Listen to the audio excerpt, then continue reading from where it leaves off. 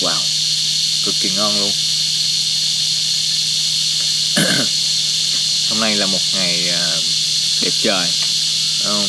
Đã ra ngoài à, thiên nhiên, rồi nghe tiếng ve kêu, uống một à, ly sữa đậu phộng và ăn một ít kim bát. Ờ, mình nghĩ là mình sẽ làm một cái video để giới thiệu cho mọi người về cái món sữa đậu phộng, cách làm sữa đậu phộng. Tại vì nó rất là dễ làm và nó bổ dưỡng và nó cũng là một món quà ý nghĩa cho bản thân và cho gia đình. Và không chỉ là sữa đậu phộng nữa mà mình sẽ làm luôn một cái sữa khác là sữa hạnh nhân.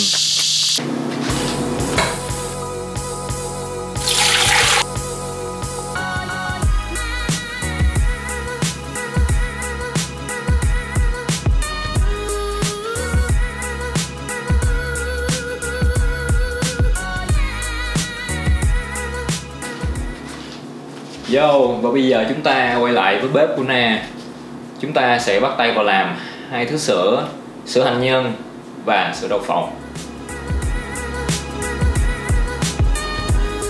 Ở đây chúng ta có 300g hành nhân và 300g đậu phộng. Với những cái loại đậu to, à, cứng như là hành nhân thì các bạn có thể ngâm nó từ 8 tới 12 tiếng để cho cái cái đậu nó mềm ra khi mình xay nó ra được nhiều chất hơn còn với những loại đậu nhỏ như đậu phộng thì khỏi xay luôn cũng được. Ở lộn khỏi ngâm luôn cũng được. Phải xay khỏi ngâm luôn cũng được. À, có thể để vô trong nồi nấu 30 phút cho nó chín là mình có thể xay nó ra một cách dễ dàng. Tỷ lệ nước mình cho vào là khoảng một phần đậu ba phần nước.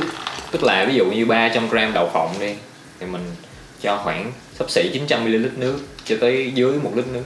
Um, thì bây giờ mình sẽ đi luộc đậu phộng. Uh, 30 phút để lửa riu riu nhẹ nhẹ các bạn có thể nghe thấy tiếng mưa rất là to ở ngoài kia tại vì nhà mình đang mưa to quá. Nếu bây giờ nghe nó nhiều tiếng mưa quá tạm âm quá thì thông cảm cho mình nha. À, bây giờ trong lúc mình đang nấu đậu phộng thì mình sẽ ép hành nhân. Giờ hành nhân và máy ép. Cái này mình dùng máy ép thay vì là máy xay là do mình nghe kinh nghiệm truyền lại là dùng máy ép nó sẽ được mịn hơn cái nước ra nó mịn hơn. Nhưng mà nếu như không có máy ép thì mình cũng thấy rất nhiều youtuber khác xài máy xay. Thưa quý vị và các bạn chúng ta đã có một sự nhầm lẫn tai hại về mặt kỹ thuật.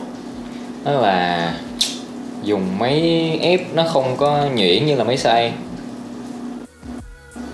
Cho nên bây giờ chúng ta sẽ cho nó vô máy xay lại. Chương trình nấu ăn ngáo này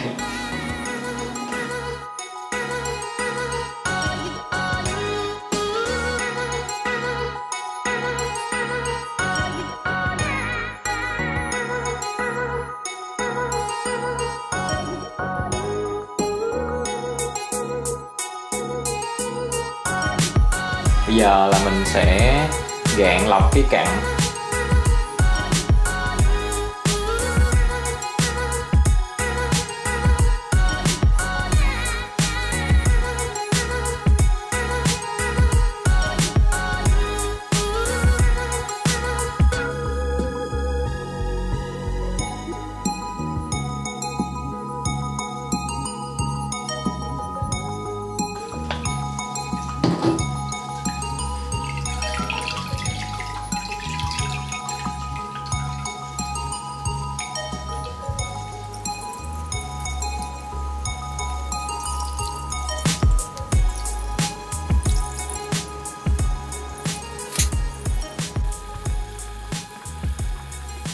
Sau khi mà mình xay xong mình gạn bã bắt nước ra rồi thì bây giờ mình nấu nó.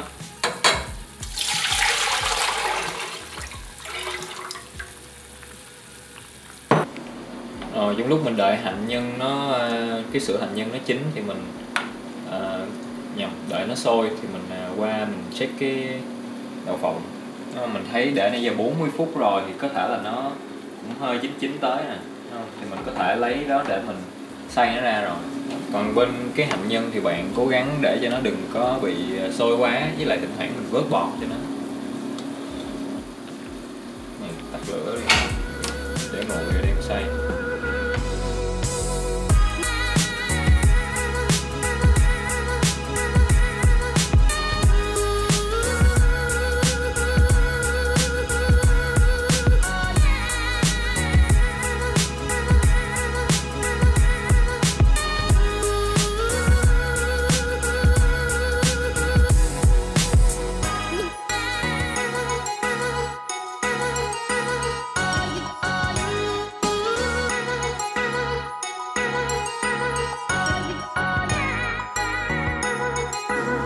Rồi bây giờ mình sau khi xay đi xay lại cái đậu phộng này cho nó nhuyễn thiệt nhuyễn.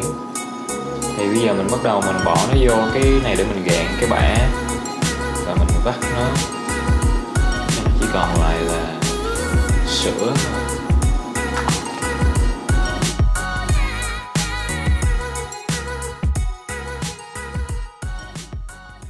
Bây giờ mình sẽ mang cái à, đậu phộng này để mình qua bên kia mình nấu lên lại cho nó sôi khoảng 5 phút thôi. Thì trước đó mình đã nấu nó một lần rồi.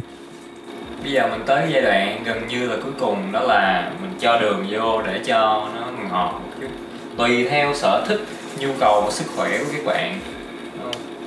Thì à, ví dụ như mình thì mình chỉ cho rất là ít đường cho một muỗng này, một muỗng cà phê hai muỗng cà phê. Xong rồi mình uh, quậy cho nó tan đường là mình có thể đóng chai và mình uống được. Và đây chúng ta có thành phẩm. Chai màu xanh này là sữa hạnh nhân màu trắng này là sữa đậu phộng.